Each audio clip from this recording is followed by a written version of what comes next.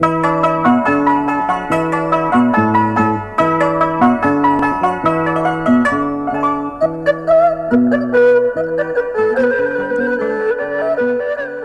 话成语又跟大家见面了，我是宋明翰。一定有人觉得很奇怪，说我怎么把发型剪短了？那是因为前一阵子啊，我潜心佛法，遁入空门了。因为熟悉我的观众都知道，我一向都是不近女色的。开个玩笑，其实是我利用暑假的时间去服兵役了。但是在军队里面，我心心念念的还是曲艺，所以就利用放假的时间出来录制大话成语。那今天要跟大家分享的成语故事叫做“沆瀣一气”。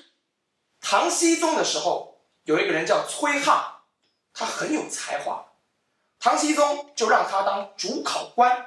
去选拔科举士子，等到考试的结果一出来，大家看到状元叫做崔谢，就开始议论纷纷了。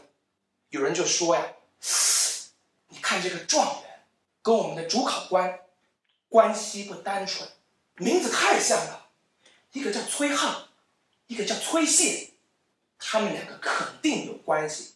咱们再观察，到后来。”崔谢又是第一个被分配到外地去当官的，又有人说了，你看吧，我就说吧，崔沆跟崔燮肯定有关系，他们两个呀，很可能是兄弟，沆瀣沆瀣这两个字本来就是连在一起的。有人说这叫做主门生，沆瀣一气。那沆瀣到底是什么意思呢？有人说是地上的地气。也有人说是晚上的露水，其实这个成语故事啊是一个冤假错案，怎么呢？因为史书上有传，崔沆他们家四个兄弟，大哥就是崔沆，老二崔丁，老三崔谭，老四崔仪，根本就没有崔谢这个人，所以说崔沆、崔燮他们是没有关系的。